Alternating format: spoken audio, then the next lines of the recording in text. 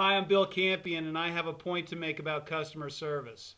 Have you ever noticed how a lot of employers allow their employees to get into what I call a service rut? And this is where the employee goes through their job and is very mechanical. They're much more concerned about the task than they are about the customer.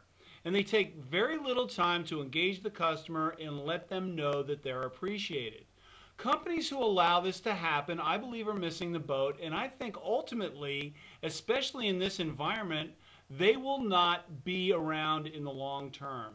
We have to get back to basics when it comes to customer service. We have to make sure that we hire the right people, that we train the living daylights out of them, and then we hold them accountable for customer engagement. This is Bill Campion, and I'm passionate about customer service.